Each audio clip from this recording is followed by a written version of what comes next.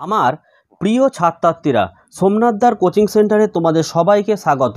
আজ আমি মডেল অ্যাক্টিভিটাক্স ভূগোল ও পরিবেশ নবম শ্রেণি, আগস্ট দু হাজার একুশ পার্ট ফাইভ। অর্থাৎ তোমরা ইতিমধ্যে জানো তোমাদের টোটাল পাঁচখানা কিন্তু মডেল অ্যাক্টিভিটাক্স দেওয়া হয়েছে। প্রথম তিনটে ছিল আমাদের দু হাজার কুড়ি সালে, যেগুলো পুনরায় তোমাদের কিন্তু দেওয়া হয়েছিল। এবং জুলাই এবছরে জুলাই মাসে দু হাজার একুশে জুলাই একটি সেট এবং আগস্টে আরও একটি সেট ওরাল পাঁচখানা সেট কিন্তু দেওয়া হয়েছে। এবং তোমাদের স্কুল থেকে যেগুলো দেওয়া হয়েছে সেগুলো অবশ্যই তোমরা করে ফেলেছো, যেগুলো এখনও করনি, তোমরা এই ভিডিও ডিসক্রিপশন বক্সে চলে যাবে। একটি ভিডিও লিঙ্ক থাকবে অথবা এই ভিডিওর ফার্স্ট কমেন্টে একটি লিঙ্ক থাকবে, সেই লিঙ্কে ক্লিক করলে কিন্তু তোমরা model অ্যাক্রিটাক্স one two three four five সমস্ত সাবজেক্টের প্রশ্নের উত্তর কিন্তু পরপর পেয়ে যাবে, কোথাও খোঁজাখুঁজি করা দরকার নেই, অর্থাৎ এক কথায় এক ক্লিকে সমস্ত প্রশ্নের উত্তর তোমরা পেয়ে যাচ্ছ। তো চলো আজকে আমরা ভিডিওটা শুরু করি।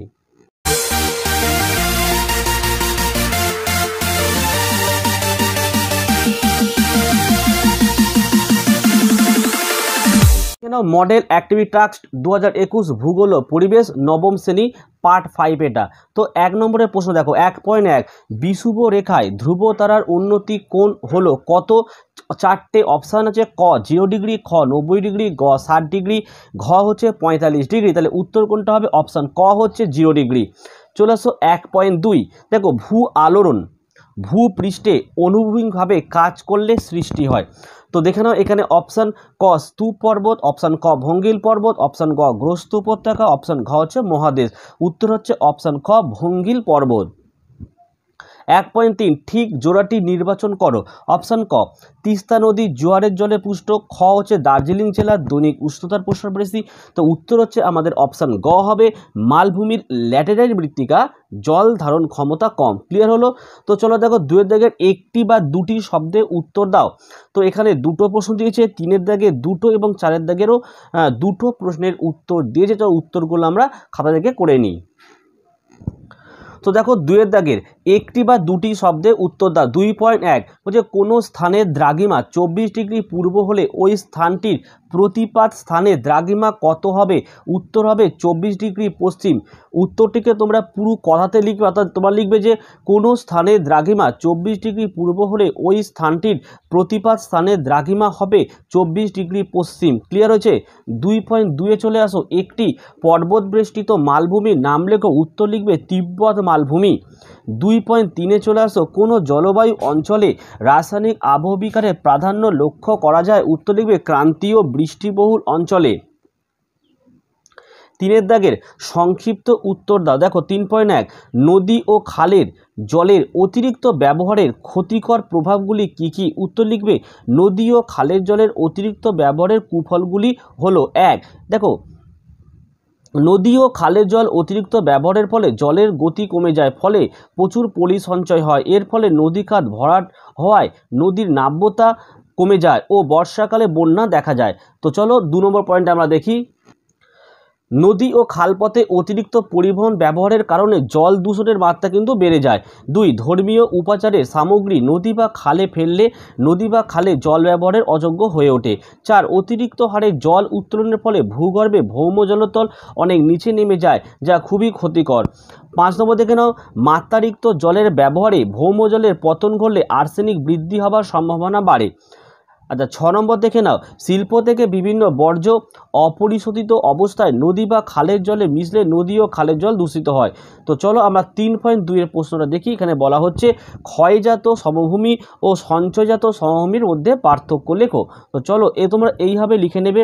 তো এদিকে তোমার লিখছো, ক্ষয়জাত সমভূমি, এখানে সঞ্চয়জাত সমভূমি। প্রথমে উৎপত্তি লিখবে এইভাবে, প্রাকৃতিক ক্ষয়কারী শক্তি দ্বারা যেমন নদী ও বায়ু প্রবাহ, প্রাচীন কোনো উচ্চভূমি সুদীর্ঘকাল ধরে ক্ষয় পি, ক্ষয়জাত সমভূমির উৎপত্তি হয়েছে।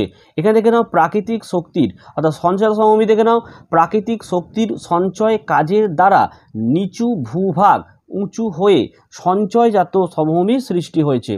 একটি করে বৈশিষ্ট্য তোমরা লিখবে যে ক্ষয়জাত সমভূমির উর্বর ক্ষয়জাত সমভূমি উর্বর হয় না, আর সঞ্চয়জাত সমভূমি কিন্তু উর্বর হয়। প্রক্রিয়া হচ্ছে, দেখো, ক্ষয়জাত সমভূমির সৃষ্টিতে বহির্জাত প্রক্রিয়া দায়ী, আর এখানে তোমরা দেখে নাও, সঞ্চয়জাত সমভূমির সৃষ্টিতে অন্তর্জাত প্রক্রিয়া দায়ী। তো চলো আমরা পরের প্রশ্নটি দেখি।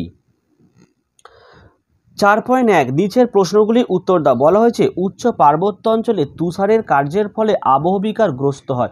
আবহবিকার গ্রস্ত হয়। অর্থাৎ চিত্রসহ ব্যাখ্যা করো। তো চলো উত্তর তোমরা দেখো। উচ্চ পার্বত্য অঞ্চলে শিলাস্তরের ফাটলের মধ্যে থাকা জল তুষার কেলাসে পরিণত হলে আয়তনে বেড়ে যায়। বরফ প্রতিবর্গ সেমিতে প্রায় দু হাজার একশো পনেরো কেজি চাপ প্রয়োগ করে। ফলে শিলায় ফাটল ধরে।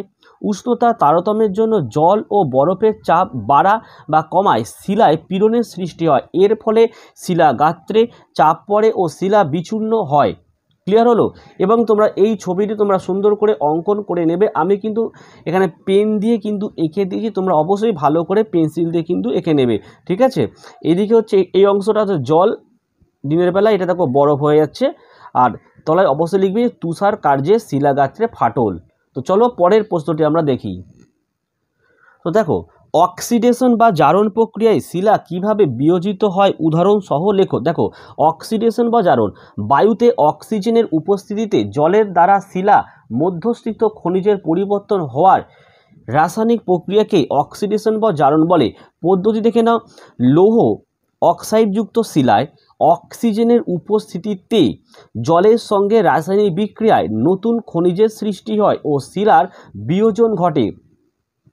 দেখো, উদাহরণ দেখে নাও। ফোর এফ ইও যোগ থ্রি এইচ টুও যোগ ও টু। অ্যালোচনা দেবে টু এফি টু ও থ্রি, কমা দিয়ে তোমরা থ্রি এইচ টুও লিখবে। তো আশা করি তোমরা প্রত্যেকটি প্রশ্নের উত্তর যথাযথ পেয়ে গেছো। যদি ভিডিওটি ভালো লাগে, অবশ্যই একটি লাইক দাও এবং বেশি বেশি করে তোমরা ভিডিওগুলোকে তোমার বন্ধুদের মাঝে শেয়ার করো যাতে প্রত্যেকেই উত্তরগুলো করতে পারে। তাহলে আজকের ভিডিও আমি এখানে শেষ করছি। তোমরা প্রত্যেকেই ভালো থেকো এবং সুস্থ থেকো।